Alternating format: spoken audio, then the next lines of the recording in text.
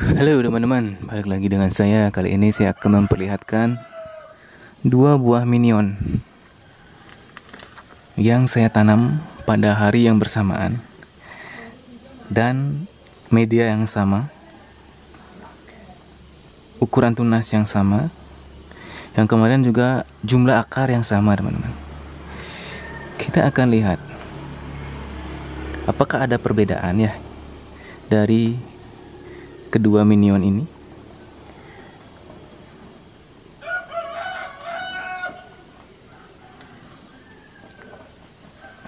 Nah, beginilah yang bisa kita lihat sekarang teman-teman. Sebelumnya terakhir kita update dengan jumlah tiga akar yang sama dan terakhir juga akarnya sampai di sini teman-teman. Ini juga sampai di sini tetapi sekarang dia sudah terlihat berbeda. Di minion yang sebelah kanan, akarnya jumlahnya sama tiga diiringi dengan akar-akar kecil teman-teman.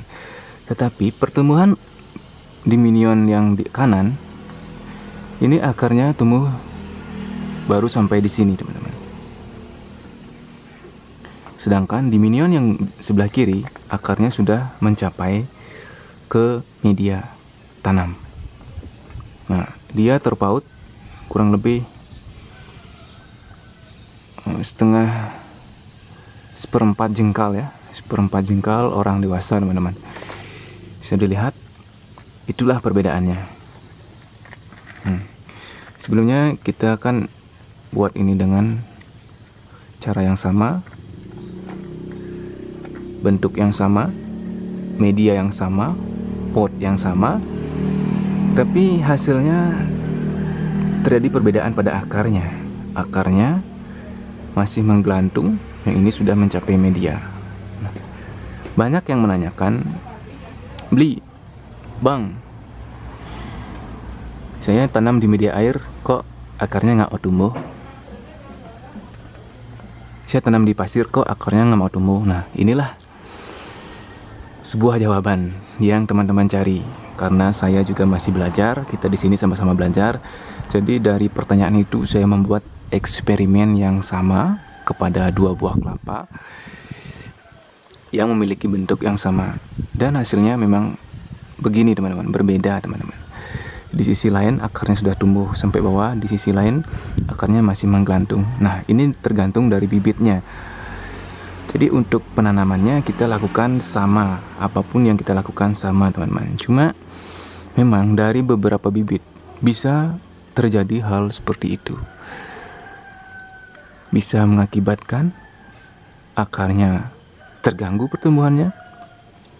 Di bibit lain malah akarnya yang tumbuh banyak sedangkan daunnya sedikit. Di sisi lain daunnya tumbuh banyak tapi akarnya nggak mau keluar. Nah seperti itu teman-teman. Jadi dari percobaan kita dari dua buah minion ini mungkin bisa menjawab kegundahan teman-teman yang sedang membuat bonsai kelapa. Kenapa akarnya sedikit? Itu kemungkinan dari bibitnya. Tapi tenang saja teman-teman.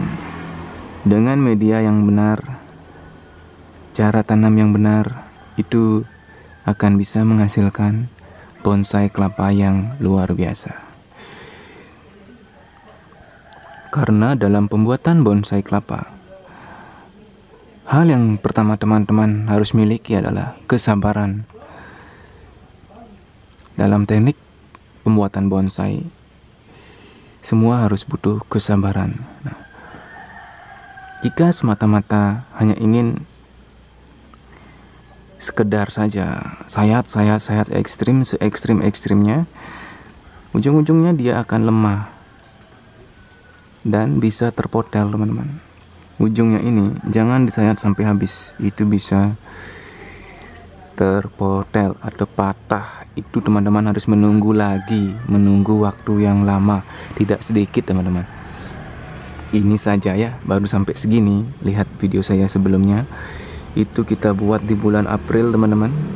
Sekarang sudah bulan Agustus sudah hampir empat bulan dari tunas. Dia baru menunjukkan hal seperti ini teman-teman. Gimana menurut teman-teman? Butuh kesabaran ekstra ya tentu.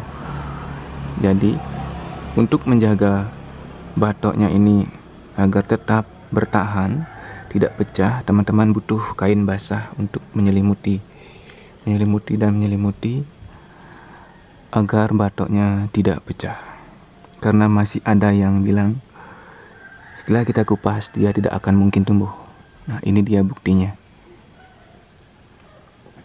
Jika sekedar komen, teman-teman hanya bisa memperhatikan saja. Kalau teman-teman sudah melihat prosesnya luar biasa, teman-teman. Jadi dari sebuah kelapa ini saya banyak belajar apa sih arti sebuah kesabaran, arti sebuah perawatan. Karena ada beberapa penelitian teman-teman yang mengajukan kepada sebuah tumbuh-tumbuhan, tumbuh-tumbuhan yang satu diberikan kata-kata positif, dipuji, dipuji-puji, dibilang bagus, dibilang cantik, dan dibilang pokoknya semua di tanaman A diberikan kata-kata positif. Di eksperimen yang lagi satu pada tumbuhan yang sama, tumbuhan itu diberi kata-kata yang kasar, diberi kata-kata yang negatif, dan apa yang terjadi? Hal yang berbeda sangat terjadi.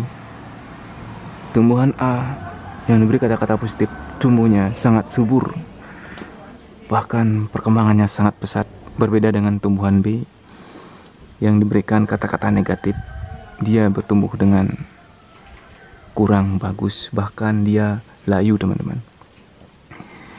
Begitu pula jika kita merawat sebuah tanaman, kita memang harus sungguh-sungguh dengan rasa. Karena tumbuhan ini juga ciptaan Tuhan, teman-teman. Ciptaan Sang Pencipta. Jadi kita sungguh-sungguh merawatnya, kita memberikan perhatian, menyiramnya, dan kita merasa tenang bersamanya sambil ngopi-ngopi tanpa gula. Mereka juga akan bisa memberikan hiburan kepada kita ya. Jadi kalau menurut saya ini adalah sebuah hiburan yang harus kita nikmati dan sebuah proses yang sangat panjang yang harus kita nikmati sehingga beberapa bulan hingga tahun ke depan kita akan memiliki sebuah bonsai kelapa yang sangat sangat indah teman-teman. Tak hanya bonsai kelapa pada jenis kambium juga membutuhkan banyak kesabaran. Seperti itu.